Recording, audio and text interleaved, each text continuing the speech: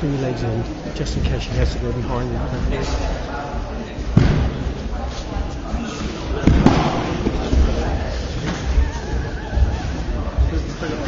Thank you.